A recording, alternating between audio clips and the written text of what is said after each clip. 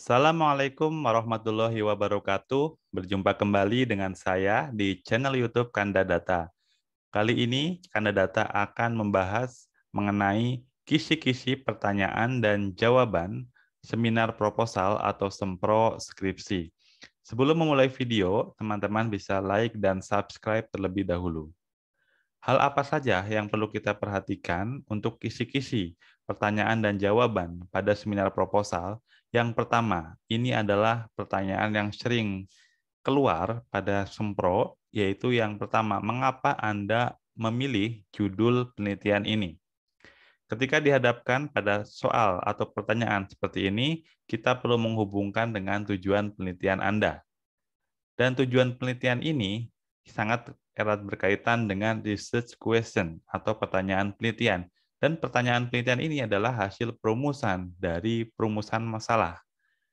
Jadi kemukakan eh, perumusan masalah Anda, kemudian sampai muncul pertanyaan penelitian dan tujuan sehingga terpilihlah judul penelitian ini. Itu tips paling sederhana. Jadi kita perlu mengarahkan ke situ. Kemudian yang kedua apa? Yang kedua, pertanyaan sering muncul adalah mengapa penelitian ini penting untuk dilakukan. Nah, kalau untuk strategi menjawab pertanyaan nomor dua, mengapa penelitian ini penting untuk dilakukan?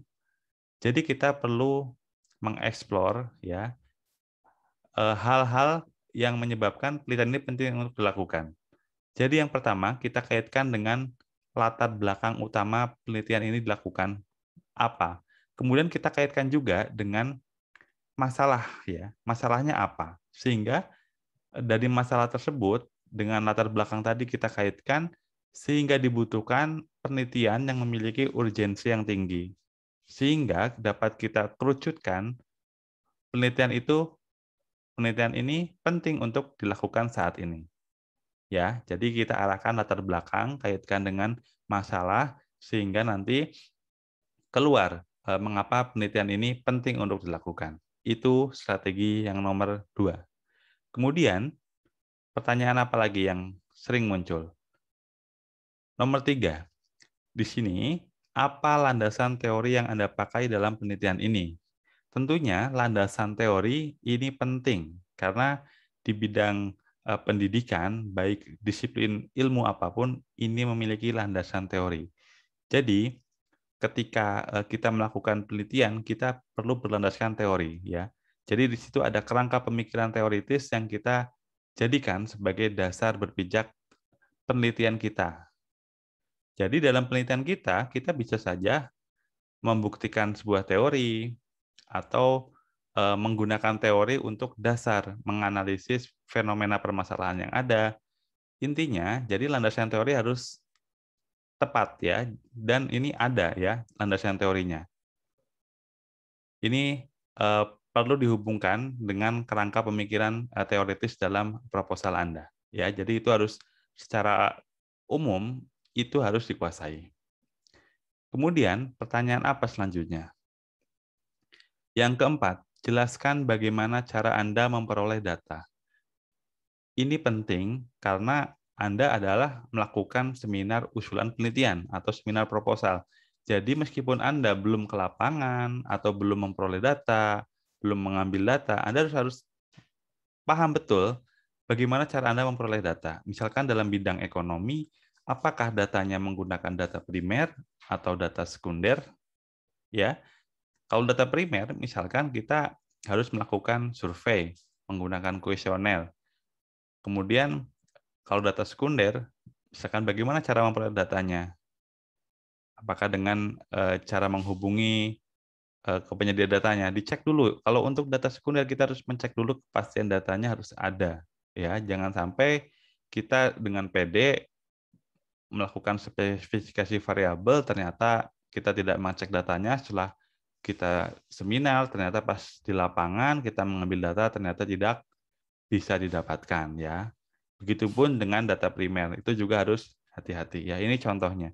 Kemudian kalau di riset-riset yang eksperimental juga kita perlu memperhatikan eh, tahapan-tahapan analis eh, analisisnya, tahapan-tahapan percobaannya dan sebagainya. Ini penting dikuasai ya. Jadi ini untuk menjawab nomor 4 ini, ini ada di bab 3 di metodologi. ya. Selanjutnya, ini yang terakhir ya untuk di video kali ini yang akan kita berikan eh, kisi-kisi pertanyaan dan jawaban seminar proposal.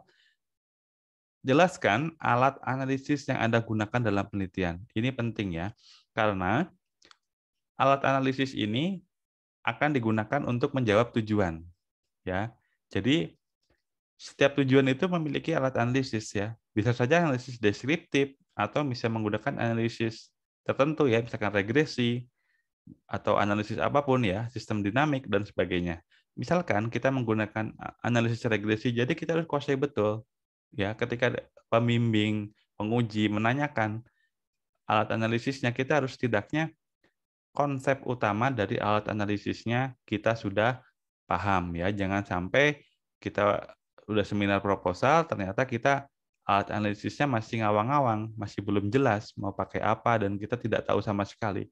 Jadi sebelum seminar proposal harus paham betul alat analisisnya apa, kemudian nanti outputnya seperti apa dalam bayangannya, sehingga nanti pas penelitian itu akan lancar. Ya demikian eh, ada lima hal ya lima pertanyaan yang sering muncul dalam eh, seminar eh, proposal atau sempro skripsi. Saya doakan semoga teman-teman yang akan melakukan seminar proposal diberikan kelancaran dan mudah dalam menjawab pertanyaan-pertanyaan dari penguji maupun dari pembimbing. Terima kasih, semoga bermanfaat. Silakan teman-teman bisa like, subscribe, dan share pada teman-teman Anda. Sampai jumpa di video berikutnya. Kami dulu. Assalamualaikum warahmatullahi wabarakatuh.